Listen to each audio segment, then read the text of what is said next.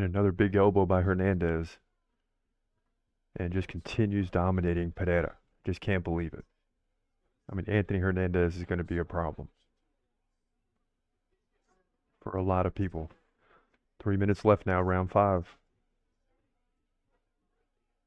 And how much longer can uh, go? It seems like he's really fading now. I mean, Anthony Hernandez has been doing what he wants his whole fight, but now it's just Pereira's just holding on. And another big elbow by Hernandez. Pereira trying to grab the left hand, but this time he's not going to be able to hold on. Now Anthony Hernandez switches. Pereira goes to his back, and he's just taking another elbow. And Herb Dean's really looking at this fight. I think he's going to stop it. I think he's going to stop it. Yeah, that's it. That's it. Anthony Hernandez with an absolute dominating performance. I mean, complete domination in every facet of the game.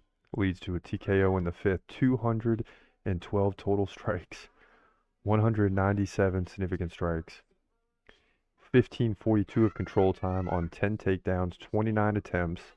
That's a middleweight record in terms of attempts. Unbelievable.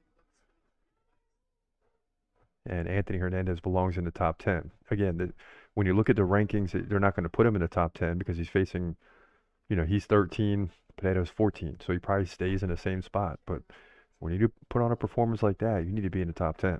I'm sorry. Hernandez moves to 13 and 2. Look great. Middleweight division, he's coming. And how deep is this division? It's crazy. This fight went down at UFC Vegas 99.